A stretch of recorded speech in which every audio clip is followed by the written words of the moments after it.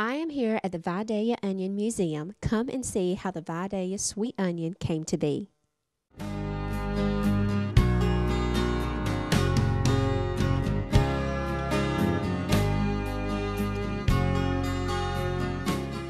I am here now at the Vidalia Onion Museum, and I am here with Ingrid and Richard.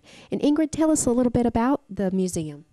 Um, the museum actually was redone, and we just opened again in 2011 this year um, to kind of kick off our Onion Festival. And it just features our world famous product from Vidalia, the, the sweet onion.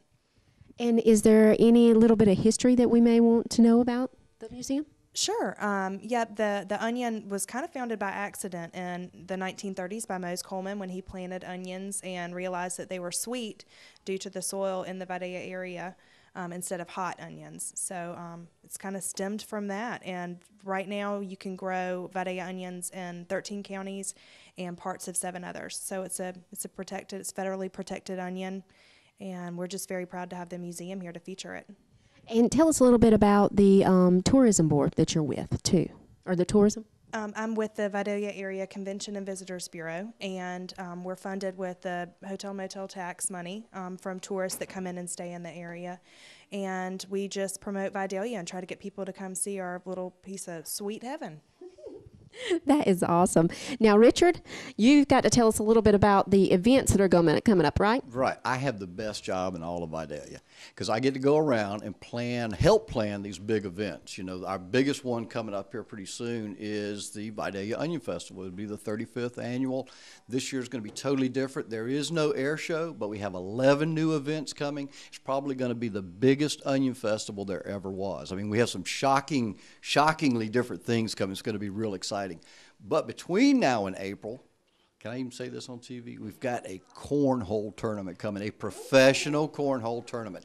It's the American Cornhole Organizations Tournament. It's uh, $20,000 in prize money. It's going to be right here in Vidalia, Georgia. Teams coming in from all over the country. There's already uh, crews signed up from New Jersey and um, Iowa or Idaho. I don't know. It's, it's, it's out there somewhere. It's, it's not, they're not from around here, but there's a bunch of them coming.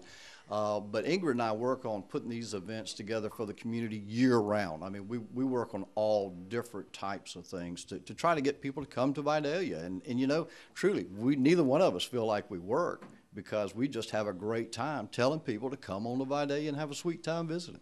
Well, that sounds like fun. Now, can anyone come in and visit the museum and, and visit you all and absolutely. participate? Absolutely, absolutely. The museum's open, uh, I always say generally Monday through Friday, 9 to 5, because, you know, if we're not here, it'll be closed. But uh, it's free. Uh, you come on in, it's a self guided tour. If you have questions, you stop and ask us. If we don't know the right answer, we'll make something up. You won't know the difference, you know, and, and you just come and have a great time and it's so neat that you have so many people participating in these different events that you have. I mean, that that is really interesting. It, it, it is Vidalia, and this area is a wonderful area. You know, I'm not from around here, but one of the best things I think about of our area is we've got a lot of folks here that aren't from here.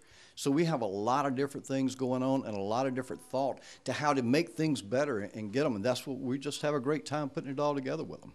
Well, it sounds like y'all do have a great time around here, and it would be so neat to come in and visit and just a family time to see the museums and, every, and everything.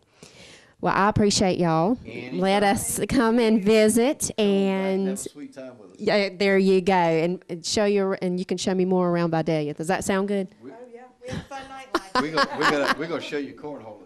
There you go. That's what I need. Education on cornholing.